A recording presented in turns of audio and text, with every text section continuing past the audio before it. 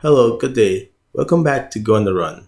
And in this video, I want to talk about auth collections. So when would you need not an authentication collection? So that's what we're going to talk about today. So let's jump in. Now, we already have a collection here that's users and that's provided by Pocketbase when you install it. But we have two different sets of users, right? We have the admins, which are the one who administrate the application. They have all the permissions. They can see all the collections once they authenticate. However, we have users who we can then use to link to records. When you create records, you don't get to link them to admins, you get to link them to users, and these are your authenticated users.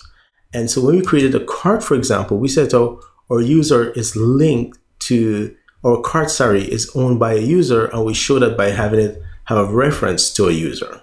So when might we want another collection that is similar to the user collection, basically a collection that allows you to authenticate against it? Because if you recall, let's say I'm on the cards collection and I go to my API view here. You can see that I have list, view, create, update, delete real time. I can't authenticate against this collection.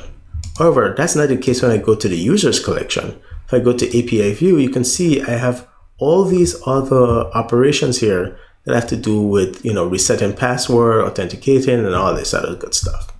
So let's say in my application, I have a different set of authenticated users. It's not the general users, maybe it's managers. So I might have an auth collection called managers, and then I can add fields that are appropriate for the managers. So here, notice for my auth collection, what I'm given. I'm given username, username, email, email visibility, verify. So I'm given all the IDs that are in users already. So the only reason for me to add any new field is if these are not sufficient and I want to add something else. If you think about it, users and managers are two different types of role anyway. But maybe for my managers, there are some other things that I want to use to differentiate between managers. And so I can possibly have some more fields. So I'm not going to invent something right now. So I'm just going to say, like, let's just call this managers. And then we have that collection. And of course, it, we can do all the same thing like we do before. And so you can see if I go to API view, I have all those same operations, including authenticating as a manager.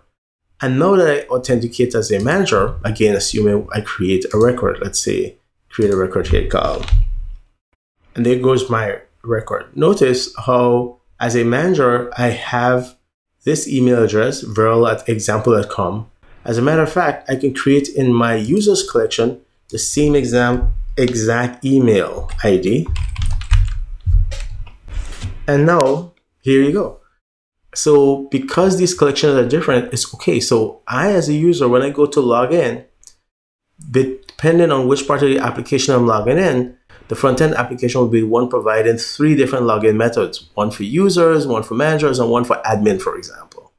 And of course, if I create records, I can then say, should it have a reference to manager and which manager? The exact same thing. Um, there's nothing stopping me from updating these collections to say they should also have a field to a manager.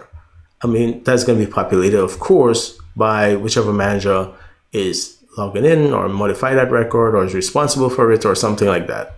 So I just wanted to show you that you can create as many um, basic collection as you like, as many view collection as you like, and you know use our auth collections to manage authentication as you like, depending on the roles that you want to have in your application.